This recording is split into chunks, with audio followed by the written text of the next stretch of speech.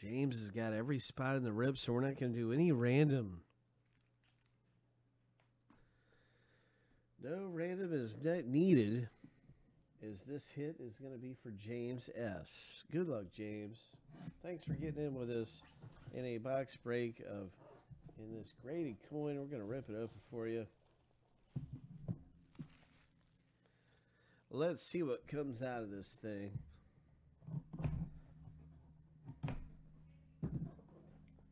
Seals are broken. Oh. Ho. Ho. James, you got a 1945 10 cent MS 64. Oh, that's a beauty. That is a beauty. Whoa, I love that.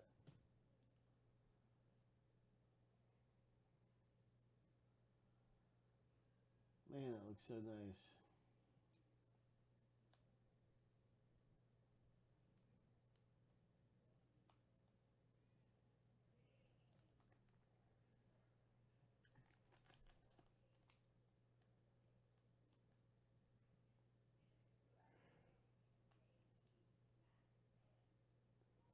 Just a really cool, really nice hit.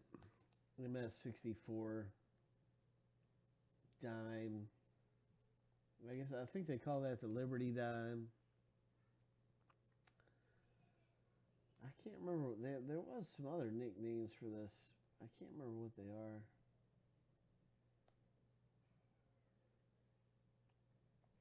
Lots of definition. It sure does look like a great hit. So, congratulations to you, James S.